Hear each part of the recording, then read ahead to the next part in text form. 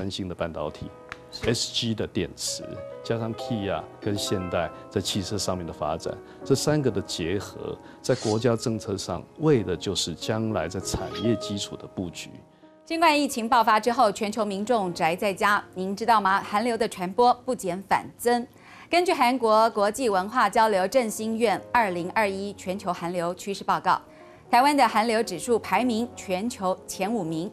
今天东亚情报力单元带您聚焦汽车产业。Kia 身为韩国在台湾的企业，如何以一个外企品牌做出本地行销？对于各国之间的商业文化有什么深刻体验呢？我们特别邀请 Kia 总代理台湾森纳美奇雅总裁李昌义，跟观众朋友聊一聊韩国汽车品牌如何进军电动车市场。欢迎 Kia 总代理台湾森纳美奇雅总裁李昌义。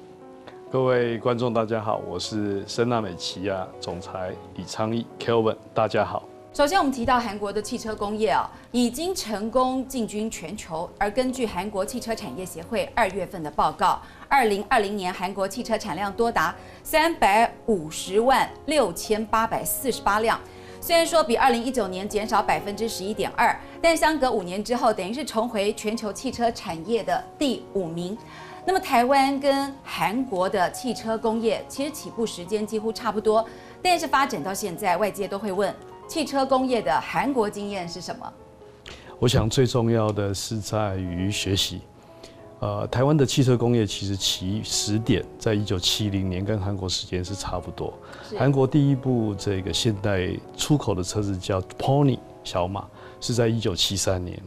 那台湾呢，在一九六八年开始，福特六也好，开始有跟玉龙也好，开始有自己的这个所谓的代工。基本上都是以日本车厂跟福特为主，美国车厂。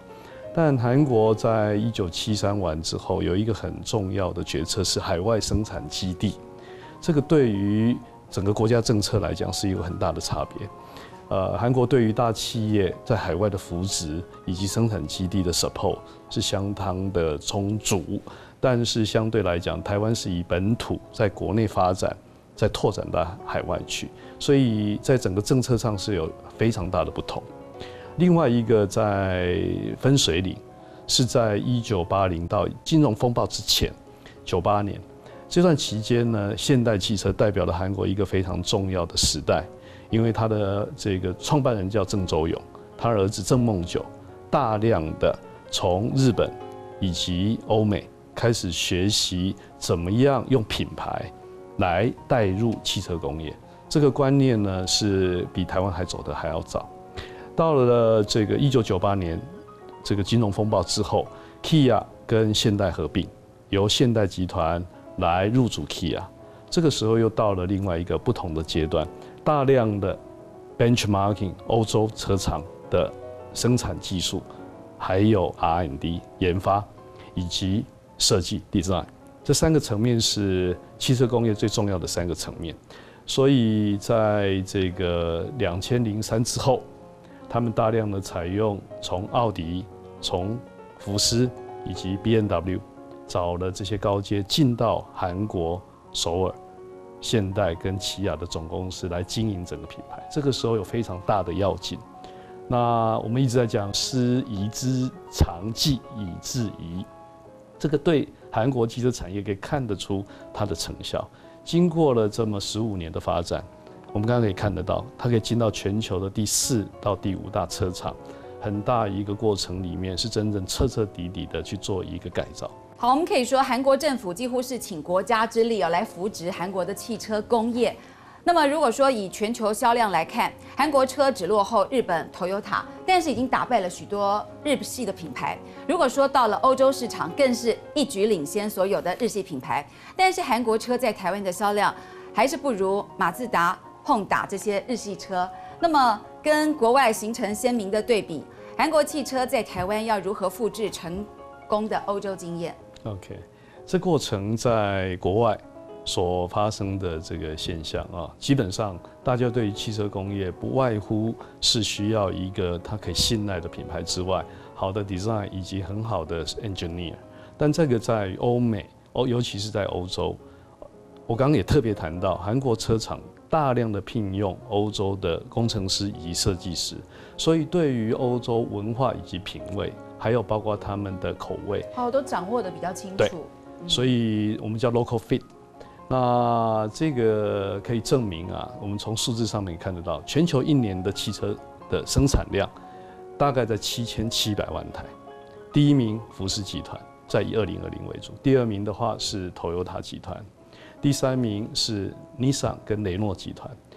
那第四名就在这个 Honda 跟这个现代集团中间在跳接。二零二零年，现代跟起亚、起亚跟这个现代集团可以到了第四名啊。那很重要一个部分，我会觉得在我们其他地方首方在台湾没有发生一个很大的原因。台湾对于跟韩国的情节，彼此之间既竞争，在以前又合作，但是近几年来，尤其是在半导体、在手机产业，还有甚至运动产业。两个亚洲四小高下的感觉。对，那我们可以从台积电跟三星这个半导体的竞争可以看得出来哦。所以对于台湾来讲，对韩国总是还是有一个情感跟情绪，呃，是在于就是说我们会觉得台湾呢，其实并不会不如不会不会这个输给韩国，不会输给韩国。所以在这样过程里面的历史情节，台湾人对于日本品牌是接受度比较高。这从这个以前战后就有这样子的这个做法。近几年来的改变，我想是在于大家看得到，这个整个韩国的文化，它并不是以韩国基础的文化出发，慢慢可以做 global fit。我们不管说今天在它的 entertainment 电影。在他们的这一个应该讲说流行的音乐文化，都可以看得到，事实上是不是只有为了台湾，而是说全球都非常的 fit。其实总裁就提到，台湾的哈韩族太多了，包括我们女生爱用的化妆品、衣服、鞋子，都要求正韩货，特别是韩剧、韩团等韩国流行文化，更是风靡全台湾。合并韩国汽车工业的观察，Kia 全新的厂徽从原本是红色椭圆的工整版，现在变为充满设计感的极简风。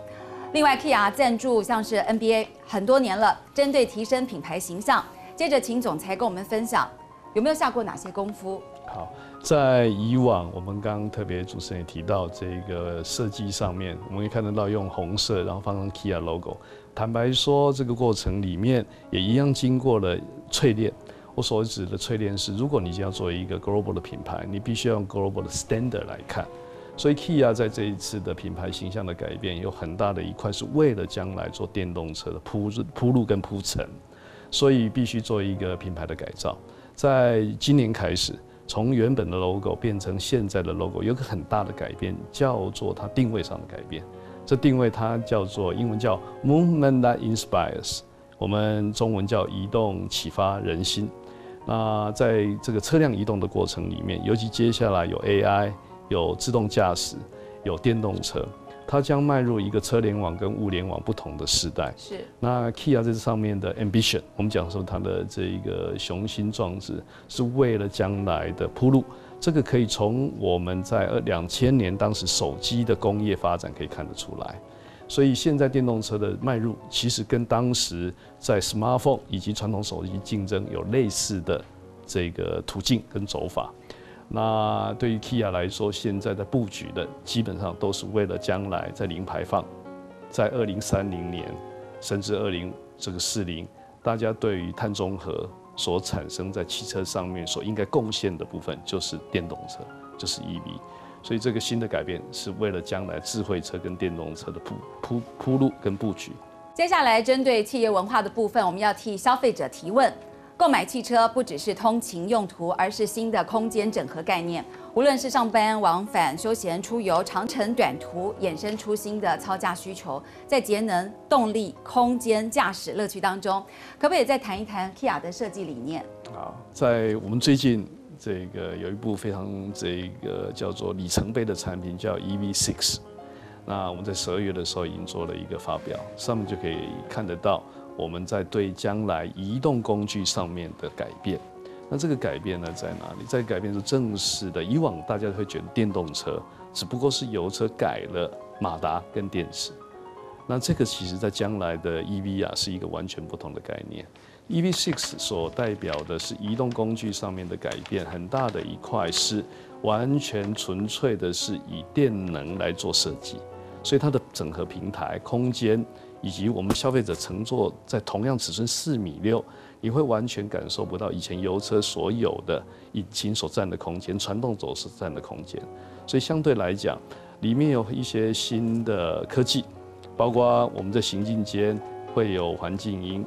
然后会有所谓的这个，你可以听得到雨林，可以听得到海洋的声音，你可以听得到，它也可以做设定啊。这个是因为电动车很安静，你行驶的过程里面，你可以把它当做是另外一个在家里的延伸。是。以前油车噪音还有包括污染是比较高的，这是将来电动车是可以取代。所以在这种新的时代完全的概念之下，我刚刚也特别谈到车联网跟物联网。目前来说，因为车辆大量的使用晶片跟电能，会是将来电动车技术，是以前油车没有办法提供这么多的 power 给晶片来做使用，所以电动车的晶片一般是油车的五到六倍左右，它会让我们行进间跟人类在驾驶的过程里面会有一个彻底的革命，这就如同刚刚谈的传统手机到 smartphone 的革命是一样，A P P 我们现在已经熟悉的。这个所谓的呃智慧生活，我们的车联网、物联网、购物，我们衍生来看，就把 EV 当做是行动的手机，这概念就很清楚。是，你可以看得到，我们在家里手机可以做的，将来在智慧车、电动车，它也都都可以做。这真的是一个全新的概念啊！电动车成为一个家的延伸。那么，由于 Kia 日前也正式向台湾消费者引荐 Kia 首款电动车 EV6。号称是挑战特斯拉全新战略作品，在美国纽约到洛杉矶的横越美国之旅当中，以总计充电时数七小时十分一秒的成绩打破今世世界纪录，比特斯拉的纪录还少了将近五点五个小时。那么近年来，因为气候变迁，电动车成为未来趋势，但亚洲品牌起步比较晚。Kia 如何力拼市占率？那么特别是针对闯入纯电领域。有什么样最新的发展计划？在韩国的产业政策，基本上他们已经建立一个 alliance，所以呢，三星、SG、LG、现代集团针对接下来整个产业的发展，电动车绝对是他国家一个非常重要发展的政策啊。所以在这样的基础之下，我们可以看得到三星的半导体，SG 的电池。加上 Kia 跟现代在汽车上面的发展，这三个的结合，在国家政策上为的就是将来在产业基础的布局。所以刚刚也看得到，十二月十三号我们发表的 EV6 也看得到一个非常早的验证。现在少有品牌可以跟 Tesla 来做一个抗争。那韩国为什么起步可以比较快在 EV 这一块？原因是因为 EV 是一个完全不同于油车技术的开发。谁跑得快，谁就可以将来类似我们讲智慧手机的占有率。所以韩国在这一边呢，可以从 EV6 看得到这些工业基础的发展，希望有一个比较大的要进。那这个要进呢，在 EV6 可以看得到，我们在马达、在电池，那可以去验证这部车几乎是现在全世界充电最快的车辆。是它短短在十八分钟。可以充满七十七千瓦小时的百八十 percent，那这代表一个什么含义？也就是说，我们一部车如果在这个过程可以跑五百公里，十八分钟就可以充到将近有四百公里的行程。所以，电控系统、马达以及电池上面的技术，能够一在这么短时间注入这么大的电量，那表示它在科技上面的含量。能够在所谓电控有足长足的进步，这牵涉到我刚刚特别谈的晶片，还有包括它在整个软体跟硬体上面的 development，有一条不同于 Tesla 的路。Tesla 走的路我们叫 OTA，它全部的更新是来自于云端